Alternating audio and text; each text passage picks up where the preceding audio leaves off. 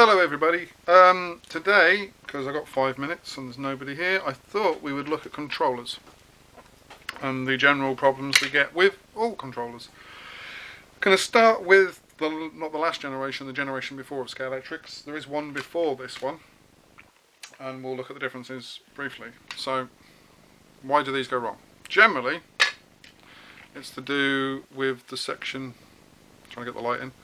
Section here as you drive and you press and you release, the two points, come on focus, where the trigger and then the swing arm here connect, it digs a hole in it. So as you get further and further into life, the swing arm isn't going to the end, it's going to just shy of the end.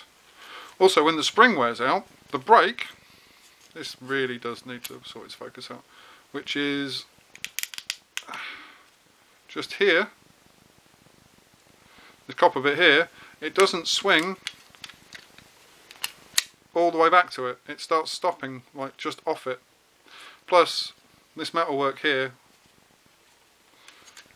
use the screwdriver for pointiness, just here, will bend and also develop uh, damage on the underside. It will wear out. Um, I thought I had one to hand, I clearly don't yeah, so that will eventually just wear out. This is the main problem with the Scalextrics ones. Uh, plus, you can see this is a repaired one because the cabling at the base has been snapped and resoldered by me um, reattached. So they are some of the main issues with the Scalextrics one.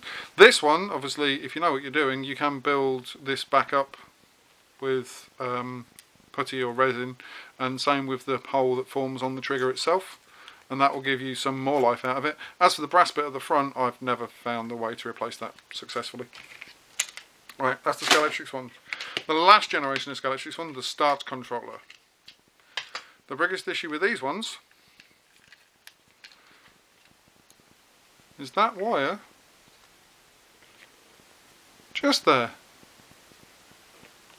No, I don't know, can you see that? That's better. This wire just here, snaps just here.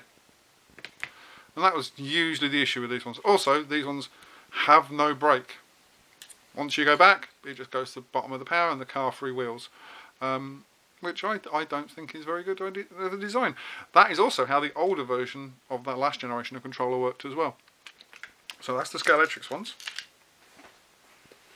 Obviously with these ones, anyone that, if one gets broken, I do generally fix them for free.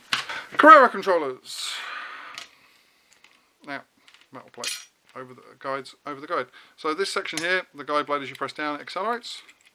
As you lift up it slows down. That's all to do with the way the power goes to the motors.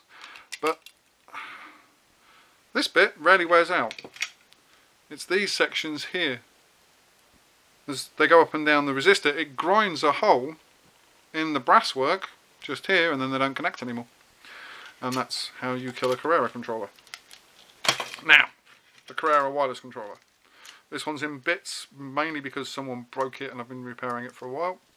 And then I just replaced it because I didn't have time to repair it. So, the main issue with the Carrera controller is this, if it's analog, the digital one, you need this, but for analog, this switch just here, which is what you get when you press the button in, that breaks and stays permanently on. This in turn causes issue. And the way it's built is it's a D-clip that should be here and as you push the trigger it pushes this back pushes the two cables to that way together and that then that way? Could be that way. It's one of these two. Uh, that then changes lane. On the analog one they say it doesn't work for digital we all know it does. Um, but that is the point where it goes and once that's gone battery's permanently draining you've got to remove the switch. It's not too hard to do. You just click out the D and then cut the peg. Now the other problem the arm here as it goes up and down eventually fills with dust and detritus, I keep using detritus, in here, in this end of the uh, lever arm. That then, when it comes back up, stops the swing arm, the uh, alternator, alternator? I don't know what they call it. I used to know, I've forgotten. It's you know, lockdown, it's doing my head in. Um, stops it going all the way back up so the power is constantly cycling through at this point and your battery goes. So you have to then just take it out and clean it. I've had to do three out there this week because I've discovered this on three of them.